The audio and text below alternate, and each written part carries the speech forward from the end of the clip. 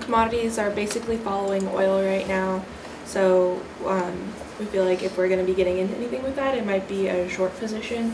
Um, if that's something we're open The to Barker doing. program is built around creating learning experiences for students that uh, involve them directly in the market. And then we'll have about 7,500 extra when we finally roll out XLF. I thought it was important to try to bring the, the classroom into a practical, real-world uh, experience.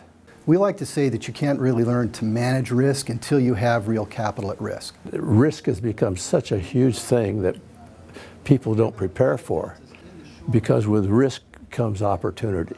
By the students having the opportunity to understand risk, I thought it would give them a big head start uh, the employment market when they got out of here. Plus, it would be a lifelong advantage. So what we try and create in here is an environment where students can take theoretical knowledge and apply it to the markets uh, and learn firsthand how those theories and that book knowledge are used to deal with real, real world problems uh, in the market. It really goes back to when I left the university and went to work for Merrill Lynch. And I was in a two-year training program. And about three weeks into the class, I found out that I was as well prepared being here at the University of Idaho as anybody in that class.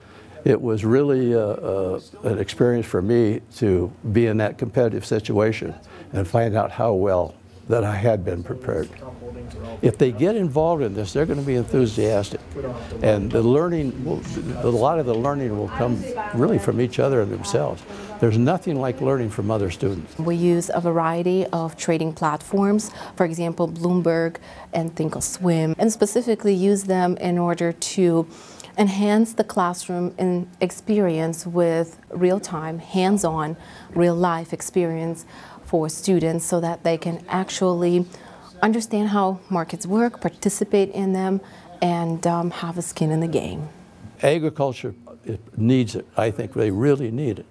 Uh, but I think that, uh, I really think it's beneficial to the entire university. I am excited about it. I'm excited about the students. I, Brett and I had, had lunch with the four students that went through the program, and to see their enthusiasm and their excitement for it and their appreciation for it is, uh, you know, it's very meaningful. And they were very enthusiastic to give back to um, the program however they could, which was, it was neat to see that.